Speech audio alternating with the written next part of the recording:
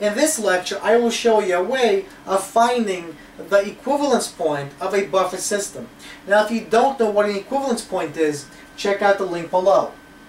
So, in the beginning, we have a buffer solution of some known acid. So if we know the acid, that means we know the acid ionization constant. We could simply look that up. So in my first step, I basically want to find a KB. And I want to find a KB using this formula here. Now if you don't know what this formula is or where it comes from, check out the link above. And I'll tell you why in a second we want to find the KB. Well, Kw, something we know at some given temperature, at a 25 degrees Celsius, Kw is 10 to the negative 14. It's the ionization constant of water.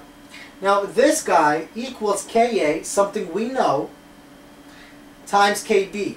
So we find Kb by simply dividing Kw by Ka. Now, why do we need the Kb?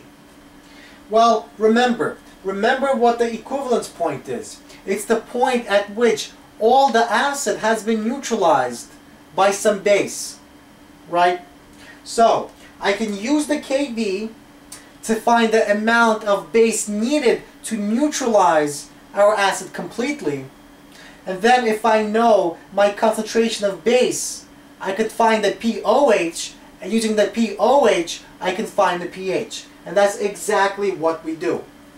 So, in my second step, I basically use the Kb or the base ionization constant. I equate that to my equilibrium expression, which states that the concentration of hydroxide, what I'm looking for, equals the concentration of the conjugate acid over the concentration of the conjugate base. Now I can get this guy on this side and uh, divide by this guy and get the concentration that I'm looking at equals a known constant a known amount, and a known amount. Now I solve and I find my concentration. Next, I find my pOH by using the formula, which is negative log of the concentration found here in step 3. And finally, in the final step, I solve for the pH by using the formula 14 equals pOH plus pH. Now if you don't know where this formula comes from, check out the link right there. So I basically rearrange and find my pH.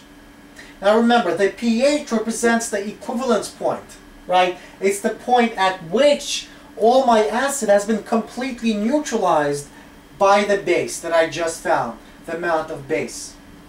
And that's how you find the equivalence point of a buffer solution.